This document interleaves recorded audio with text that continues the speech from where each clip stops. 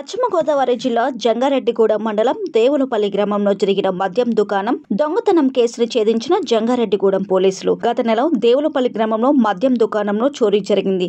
ఈ ఘటనకు సంబంధించిన పిల్లి వెంకటేశ్వరరావుని అరెస్టు చేసి అతని వద్ద నుండి లక్ష ముప్పై వేల రూపాయల విలువైన నాలుగు వందల ఆరు మద్యం బాటిళ్ళను పోలీసులు స్వాధీనం చేసుకున్నారు. నిందితుడిపై ఆంధ్ర తెలంగాణలో కలిపి పదిహేను దొంగతనాలు ముప్పైకి పైగా నాటుసారా కేసులు ఒక చైన్ స్నాచింగ్ మరియు పీడీ యాక్ట్ కేసులు ఉన్నాయని తెలిపారు.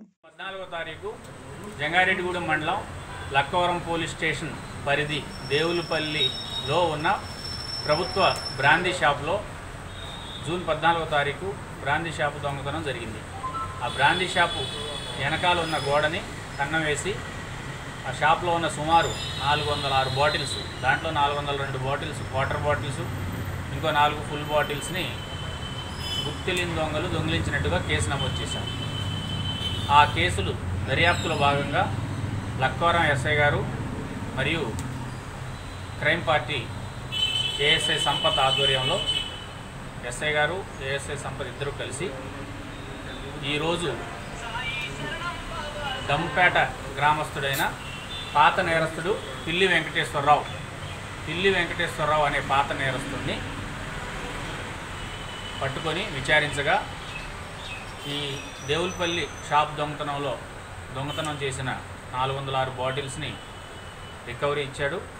ఈ బాటిల్స్ ఇప్పుడు మీ ఎదురుగా ఉన్న ఈ బాటిల్స్ దేవులపల్లి కేసులో అలాగే ఏప్రిల్ ఇరవై నాలుగో తారీఖు అంటే పీక్ లాక్డౌన్ పీక్లో ఉన్నప్పుడు కూడా ధర్మాజిగూడెం పోలీస్ స్టేషన్ పరిధిలో ధర్మాజిగూడెం గ్రామంలో ఒక బ్రాందీ షాప్ దొంగతనం జరిగింది.